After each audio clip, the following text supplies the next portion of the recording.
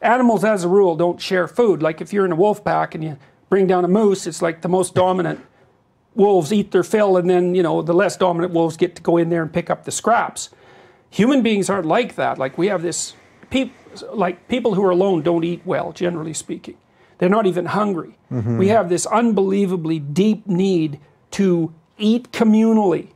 And it's a huge part of socialization because, well, you got to think that the regulation of eating is, the, in some sense, the only thing that, that could compare with that would be the regulation of anger and the regulation of sex. It's fundamental to culture. Yeah. Sit like a civilized human being, share the food properly, be good company, pay attention, learn to converse, be grateful for what you have to eat. Those are basic, basic, they're not even rules, they're deeper than rules, they're patterns of behavior.